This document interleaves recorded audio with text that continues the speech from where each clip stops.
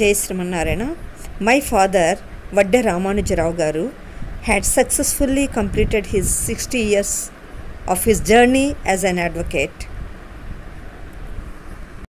He started his career as an advocate in 1960. He might have undergone many hardships in his life. Even in 20s, he lost his father. He had to take care of his family. in spite of that, with strong determination, dedication, sincerity, and honesty, he moved towards the success. He has many clients even today.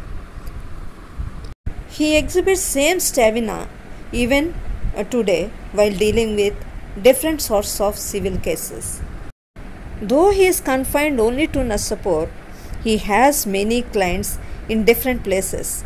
I feel proud to be introduced as the eldest daughter of Vadde Ramanujarao Garu. On this auspicious day, I convey my hearty congratulations to my father. I know there is no retirement in his profession, so I convey my best wishes to my Nanagaru. Nanagaru, may God bless you with long life. Your beloved Padma. Thank you.